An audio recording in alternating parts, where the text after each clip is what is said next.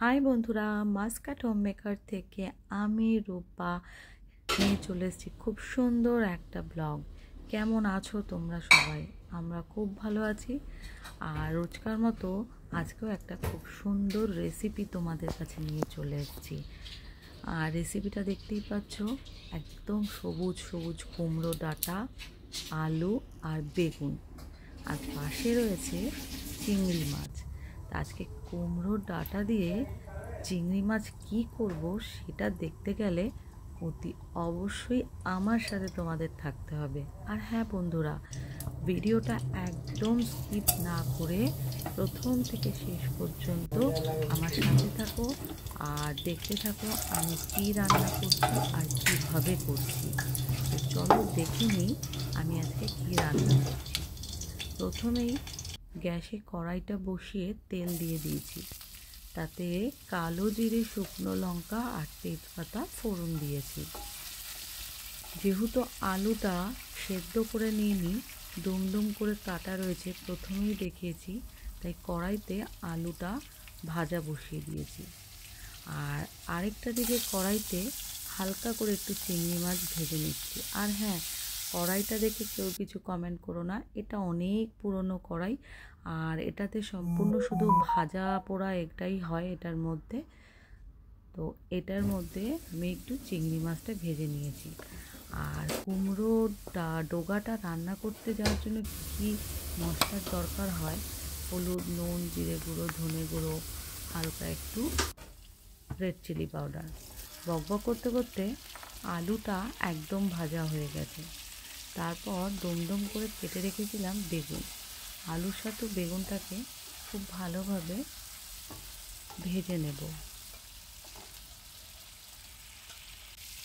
ভাজা প্রায় হয়ে এসছে। এর মধ্যে যে মশলাটা রেডি করেছিলাম, সেটা দিয়ে দেব। আস্তে আস্তে মশলার সাথে আলু আর বেগুনটা ভালোভাবে মিশিয়ে নিতে হবে। কে কে এরকমভাবে কুমড়োর ডাটা দিয়ে চিংড়ি মাছ খেয়ে থাকো, অতি অবশ্যই একটা কমেন্ট করে জানিও। এই কুমড়োর ডোগাটা নিরামিষ খেতেও ভালো লাগে, আমিষ খেতেও ভালো লাগে। তারপরে দেখো, একদম খুব কম পরিমাণ একটু টমেটো আর দুটো কাঁচা লঙ্কা অ্যাড করে দিলাম।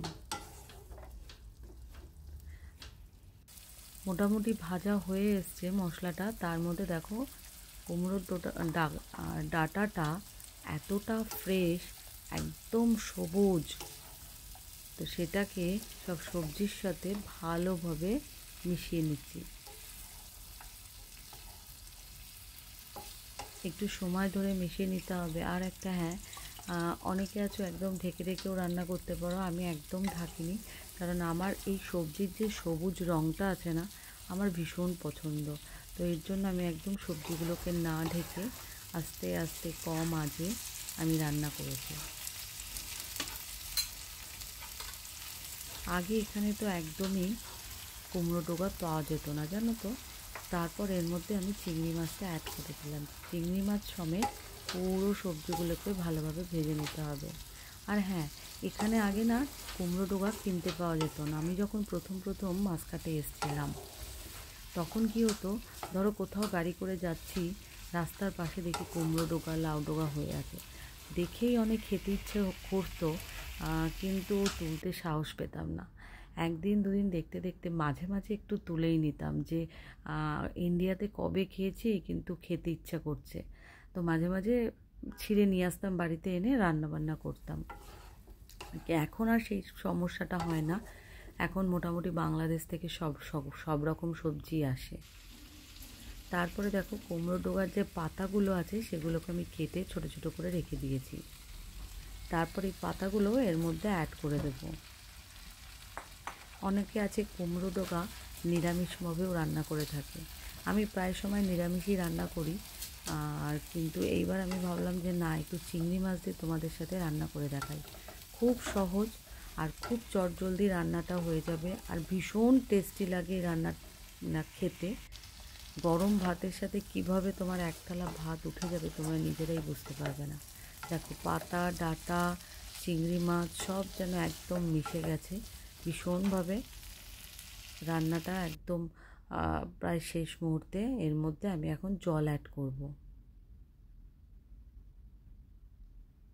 জলটা অ্যাড করে কিছুক্ষণ আমাকে ফুটিয়ে নিতে হবে।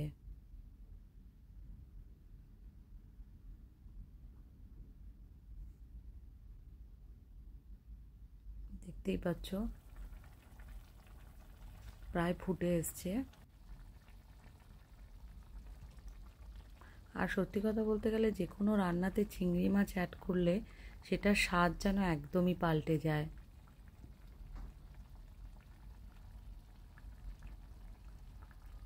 আমার ফুটে আসা পর্যন্ত ওয়েট করতে হবে। দেখতেই পাচ্ছ, একদমই ফুটে গেছে। আর হ্যাঁ অনেকে আছে পাতলা পাতলা খায় না। এবার এটাকে ঘন করার জন্য কি করবে? এই যে আলুগুলো আছে না, আলুগুলো একটুখানি নরম হয়ে এলে একটু আলুগুলো কী করতে হবে? হাতা দিয়ে প্রেস করে একটুখানি ওই ভর্তা মতো ওইখানেই করে দিতে হবে আলুগুলোকে। তবে কী হবে? গ্রেভিটা একটু ঘন হয়ে যাবে। দেখতেই পাচ্ছ, আমার চিংড়ি মাছের কুমড়ো ডোগার রেসিপি একদম রেডি তোমাদের কেমন লাগল? একটা চট জলদি খুব সুন্দর সুস্বাদু রেসিপি চিংড়ি দিয়ে কুমড়ো ডোগার রেসিপি যদি বন্ধুরা এই ব্লগটা ভালো লেগে থাকে, ব্লগটা ছেড়ে যাওয়ার আগে like comment share and subscribe করতে একদম ভুলো না। দেখতেই পাচ্ছ দেখতেই এত সুন্দর হয়েছে, খেতে তো আরোই ভালো হবে। তো থ্যাংক ইউ বন্ধুরা, টাটা।